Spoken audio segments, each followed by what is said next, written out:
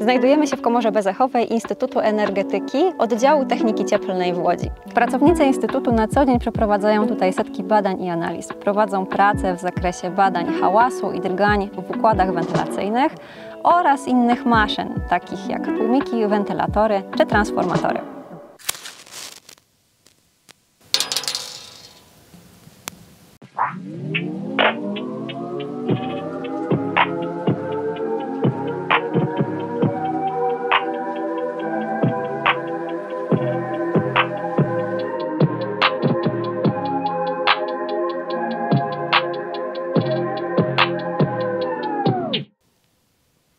Jeśli chcecie wiedzieć, co jeszcze wiemy o dźwięku, zapraszamy Was do Centrum Nauki i Techniki na zbliżającą się Noc Naukowców 29 września.